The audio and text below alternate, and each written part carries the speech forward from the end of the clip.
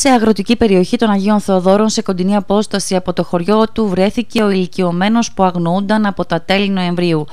Πρόκειται για τον Μουσταφά Τοπάλη από το μικρό δουκάτο του νομού Ροδόπης. Ο ηλικιωμένος άνδρα ζούσε μόνος του και λάμβανε φροντίδα από τους συγχωριανούς του. Εκείνοι ήταν που είχαν ανησυχήσει όταν δεν τον είδαν για κάποιες ημέρες, αφού ο ηλικιωμένος συνήθιζε να κάνει βόλτες στο χωριό, να συνομιλεί και να κάνει παρέα με τους συγχωριανούς του. Ο άνδρας αντιμετώπιζε προβλήματα υγείας και οι συγχωριανοί του είχαν ειδοποιήσει την αστυνομία για την εξαφάνισή του.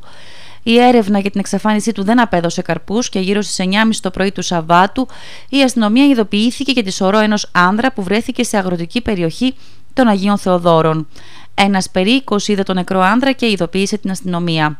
Η σωρός, όπως προέκυψε από την αστυνομία που βρέθηκε στο σημείο, ανήκει στο Μουσταφά Τοπάλ. Αστυνομικές πηγές αναφέρουν ότι δεν προκύπτει εγκληματική ενέργεια, αλλά παρόλα αυτά η σωρό μεταφέρθηκε στην ιατροδικαστική υπηρεσία Θράκης. Ο άνδρας μάλλον απεβίωσε από το κρύο αναζητώντας καταφύγιο για να ζεσταθεί.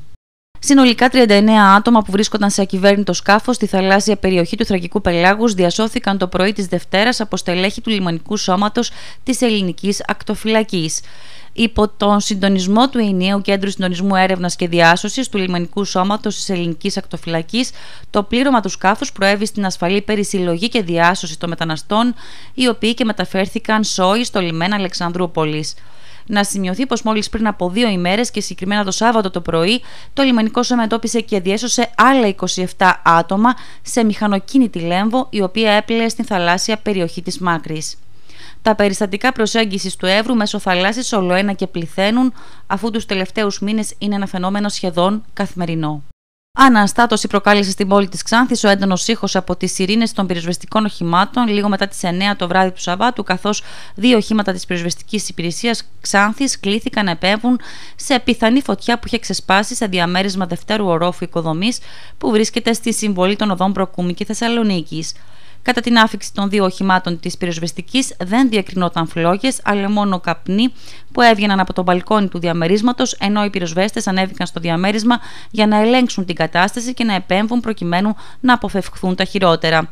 Πάντως, σύμφωνα με κάτοικο της περιοχής, λίγα λεπτά προτού φτάσει στο σημείο το πυροσβεστικό όχημα, έβγαιναν φλόγες ενώ υπήρχε και έντονη οσμή καμένου. Ευτυχώς, το όλο περιστατικό είχε ως αποτέλεσμα μόνο υλικέ ζημιές. Ανατροπή οχήματος στην πόλη της Κομωτινής πραγματοποιήθηκε το μεσημέρι του Σαββάτου στο κέντρο της πόλης. Συγκεκριμένα στη συμβολή των οδών Χρήστου Τσούντα και Κουμπάρη, στην περιοχή των Κτέλ, στο ύψος του Μάρκετ Μασούτης, συνέβη το τροχαίο ατύχημα.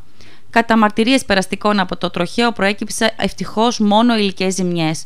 Την ίδια ώρα, πάντως, κάτοικοι της γύρω περιοχής κρούν τον κόδωνα του κινδύνου για την έλλειψη επαρκούς σήμανσης στην κατεύθυνση από κουμπάρι προς Χρήστου Τσούντα, με αποτέλεσμα κατά καιρούς να έχουν σημειωθεί αρκετά τροχαία ατυχήματα.